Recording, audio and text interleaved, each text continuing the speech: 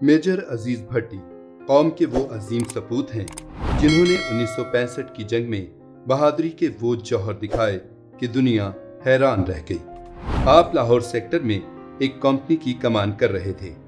दुश्मन ने लाहौर पर कब्जे के लिए पूरी पलटन से हमला कर दिया। आपको नहर की दूसरी जानब वापसी का हुक्म मिला, मगर नहर पर दुश्मन कब्जा कर चुका था। आपने बेहतरीन जंगी हिकमत अमली इख्तियार करते हुए वहाँ से दुश्मन को मार भगाया और फौजी जवान और गाड़ियाँ नहर की दूसरी जानब पहुँचा दी। आपने उसी मकाम पर जाम शहादत नोश किया। आपकी जुर्रत बहादुरी के एतराफ़ में निशान हैदर अता किया गया।